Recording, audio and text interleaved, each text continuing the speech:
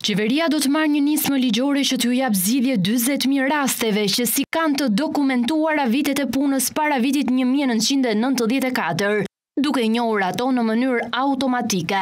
Bëhet fjalë për periudhën e punës në ish-ndërmarrjet, dhe kooperativat shtetërore.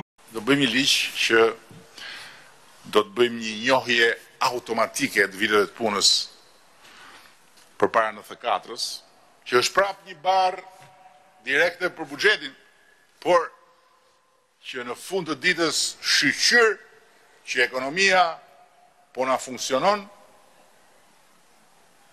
dhe që era e ekonomisë është në favor. Detajet për skemën e re të pensioneve i dha zëvendësministrja e Ekonomisë Olta Manjani e cila tha se falë ndryshimeve, reforma e re do të sigurojë pensione më të larta.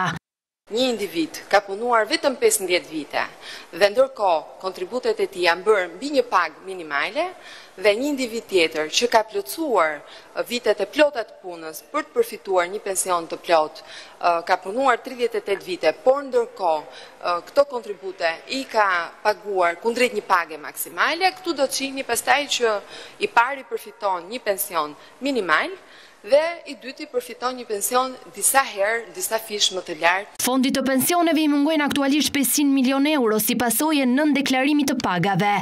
Kryeministri Edi Rama paralajmëroi bizneset që të paguajnë kontributet në bazë të pagave reale, ose në të kundërt do të penalizohen. Nuk ka sot, nuk ekziston. E dimë shumë mirë, është fakt. Nuk ekziston sot punonjës ndërtimi me katërqind euro në muaj, me pesëqind euro në muaj, me gjashtëqind euro në muaj, me shtatëqind, nuk ekziston. Dhe na i regjistrojnë atje të gjithë me pagë minimale. Ky është krim. Krim ndaj çdo pensionisti që sot me të drejtë thotë po mirë, Vajti si vajti kjo punë, po atë gjysma gjelin, po edhe një çikë më shumë. Po që të bëhet më shumë ajo, duhet luftohen këta. Qeveria është duke shqyrtuar mundësinë e rritjes edhe të bonusit të fundvitit për pensionistët.